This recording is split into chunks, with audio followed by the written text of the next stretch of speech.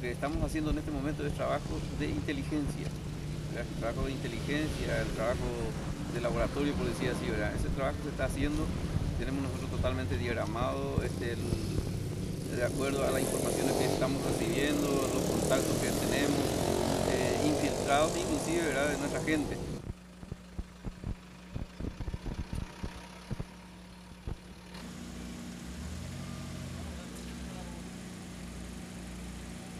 Pero depende del